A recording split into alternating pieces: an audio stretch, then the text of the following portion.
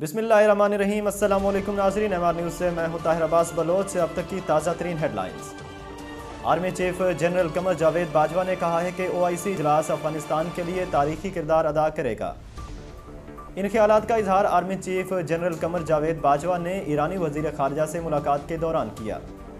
گفتگو کے دوران افغانستان کی صورتحال سمیت باہمی دلچسپی کے امور پر تبادلہ خیال ہوا، جبکہ دونوں رہنماؤں نے دفاعی اور سیکیورٹی تعاون سمیت Pak Iran border security mechanism پر بھی بات چیت کی۔ ایرانی وزیر خارجہ نے افغانستان کی صورتحال اور خطے میں امن و استحکام پر پاکستان کے کردار کی تعریف کی اور بارڈر مینجمنٹ علاقائی استحکام کے لیے پاکستان کی کوششوں کو سراہا۔ ناظرین، امیر جماعت اسلامی پاکستان سراج الحق نے کہا ہے کہ عوام کو حق نہیں دیا تو کراچی سے چترال تک یہ مقدمہ لے کر جائیں گے۔ کراچی کے حقوق پر ڈاکہ ڈالنے والے اب بھی اسے محروم رکھنا چاہتے ہیں۔ جماعت اسلامی کے تحت حق دو کراچی ریلی سے خطاب کرتے ہوئے سراج الحق نے کہا کہ کراچی کی عوام کو اس عظیم کراچی بچاؤ مارچ پر مبارکباد دیتا ہوں۔ گوادر کی عوام کو ان کے احتجاج پر ان کا حق دیا گیا۔ کراچی کی عوام کے حقوق پر کوئی مائکہ لال ڈاکہ نہیں ڈال سکتا۔ اس شہر کے حقوق پر ڈاکہ ڈالنے والے اب بھی اسے محروم رکھنا چاہتے ہیں۔ عوام کو حق نہیں دیا تو کراچی سے چترال تک یہ مقدمہ لے کر جائیں گے۔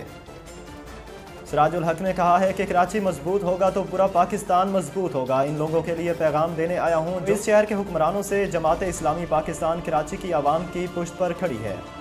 کراچی پاکستان کی ماں ہے جو پورے ملک کو دودھ پلاتی ہے۔ ناظرین، امریکہ کے مشیر برائے وبائی امراض التوئی فاؤچی نے پوری دنیا کو خبردار کیا ہے کہ اومیکرون تیزی سے پوری دنیا میں پھیل رہا ہے۔ غیر ملکی خبر رساں ادارے کے مطابق گزشتہ روز امریکی ٹی وی سے گفتگو کرتے ہوئے وائٹ ہاؤس کے مشیر برائے وبائی امراض انتھوئی فاؤچی کا کہنا ہے کہ اومیکرون پوری دنیا میں تیزی سے پھیل رہا ہے، کیونکہ اس ویرینٹ میں تیزی سے پھیلنے کی صلاحیت ہے۔ ناظرین، کھیلوں کی دنیا سے خبر شامل کرتے ہیں نیوزی لینڈ کرکٹ ٹیم، آئندہ سال پاکستان کا دورہ کرے گی۔ پاکستانی کرکٹ بورڈ کے مطابق نیوزی لینڈ کی ٹیم آئندہ سال دسمبر میں دو ٹیسٹ اور تین ون ڈے انٹرنیشنل میچ کھیلنے کے لیے پاکستان کا دورہ کرے گی۔ مہمان ٹیم اپریل دو ہزار تیئیس میں ایک مرتبہ پھر پاکستان آئے گی، جہاں وہ دس وائٹ بال میچز پر مشتمل سیریز کھیلے گی۔ Chairman Pakistan cricket board Ramiz Raja کی نیوزی لینڈ کرکٹ کے چیئرمین مارٹن سینیڈن سے ملاقاتوں میں تبادلہ خیال کے بعد ان دوروں کو حتمی شکل دی گئی ہے۔ ناظرین، ایم آر نیوز بلیٹن سے فی الحال اتنا ہی۔ مزید خبروں اور تفصیلات کے لیے دیکھتے رہیں ایم آر نیوز۔